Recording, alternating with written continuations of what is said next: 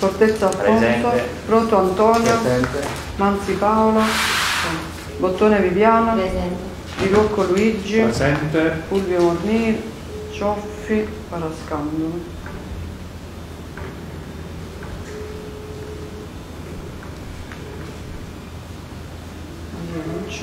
Bene. Allora, dichiara aperto il Consiglio. Primo punto all'ordine del giorno, approvazione verbale seduta del 36 2021. No, non No, no, so. Ratifica delibere di giunta comunale, lavoro adeguamento, messa in sicurezza, patrimonio comunale e strade comunali. Acquisizione sanando ex articolo per la variazione di bilancio. Poi approvazione rendiconto della gestione dell'esercizio 2020, approvazione regolamento disciplina della tassa rifiuti, tari, del servizio di gestione dei rifiuti urbani, l'approvazione del piano economico finanziario, l'approvazione delle tariffe tari e l'affidamento in finanza di progetto per quanto riguarda la bretella e i parcheggi. Va bene? Ci sono interventi? No? Passiamo al secondo punto all'ordine del giorno, bilancio di previsione 2021-2023, verifica salvaguardia degli equilibri di bilancio, fa portare di parlare alla alla ragioniera.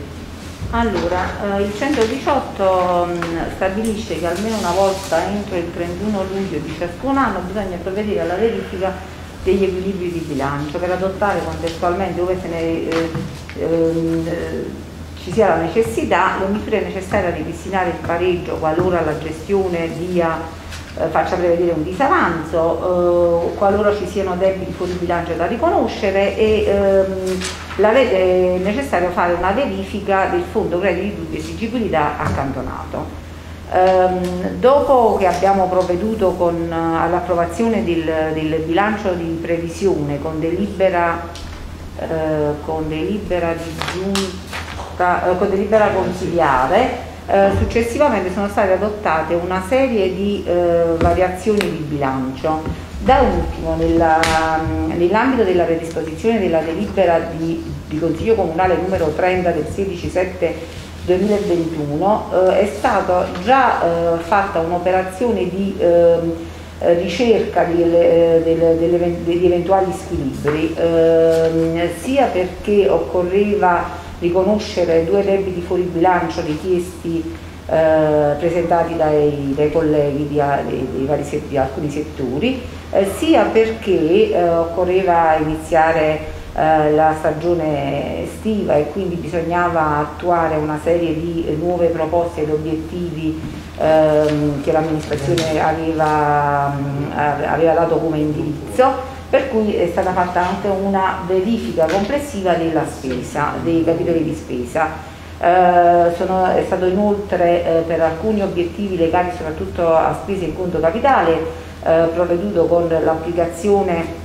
dell'avanzo, eh, dell'avanzo di bilancio eh, libero o vincolato, per cui eh, diciamo che l'operazione eh, di eh, verifica degli equilibri è stata già esaminata in questa prima fase. Eh, ulteriore verifica effettuata ha determinato che sia le previsioni delle entrate tributarie che le previsioni dei trasferimenti correnti sono, eh, in- sono coerenti con gli accertamenti a tutt'oggi eh, verificate e che quelli che pre- presumibilmente eh, saranno accertate al 31-12-2021.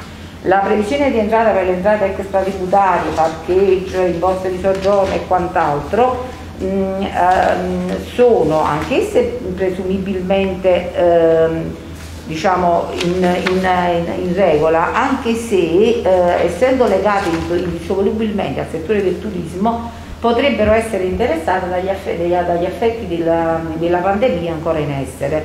Per cui è necessario continuare fino al 31-12 a eh, fare delle verifiche rispetto agli equilibri e eh, nel caso in cui situa- la situazione pot- potrebbe, insomma, eh, potrebbe far scaturire un- una questione di, di squilibrio, avremo sicuramente sia l'avanzo libero che l'avanzo vincolato a tutela inviato dal- dai trasferimenti erariali per la sistemazione. Non sono stati il, il fondo di cassa, la situazione di cassa ha un saldo positivo, eh, non si sono stati individuati residui insussistenti e il fondo credito dubbia esigibilità risulta eh, in regola rispetto ai principi contabili, quindi non c'è stata in questa fase nessuna esigenza di predisporre ulteriori variazioni o eh, sistemazione di squilibri.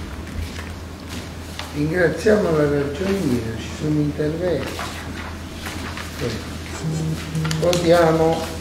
Chi è favorevole alzi la mano. Chi è contrario? Chi si astiene? Per l'immediata eseguibilità. Chi è favorevole alzi la mano. Chi si astiene?